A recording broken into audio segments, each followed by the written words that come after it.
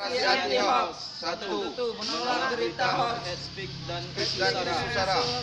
Dua, Dua. tidak membuat dan menyebarkan hoax, head dan isu sara. Tiga, iya, mendukung Mendukung dalam menyusun proses pelaku pelaku pembuat penyebar dan penyebar Hoax. Dan speech. Empat, sama-sama menciptakan negara damai, aman, di pemilih dan menjadi pemilih cerdas.